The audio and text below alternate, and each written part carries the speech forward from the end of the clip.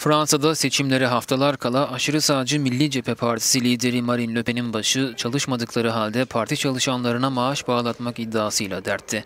Le Pen'e yakın Thierry Logier ve Catherine Grisset soruşturma kapsamında gözaltına alındı.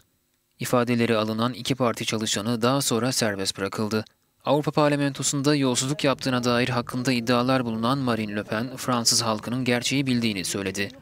Le Pen, medyanın tüm uğraşlarına rağmen Fransız halkı neyin ne olduğunu biliyor ve bu farkı idrak edebiliyor dedi. Avrupa Parlamentosu'nun yolsuzlukla mücadele organı Le Pen'in danışmanı olarak maaş alan ancak gerçekte Le Pen'in korumalığını yapan Thierry Logier'in parlamentodan 3 ay maaş aldığını ortaya çıkarmıştı. Le Pen'in yakın arkadaşı Catherine Grisset ise yine parlamentodan danışman sıfatıyla maaş almakla suçlanıyor. Fransız polisi de hafta başı Milli Cephe Partisi'nin Paris'teki genel merkezine baskın düzenleyerek binada arama yapmıştı. de milliers d'emplois en Europe, des dizaines de milliers en France.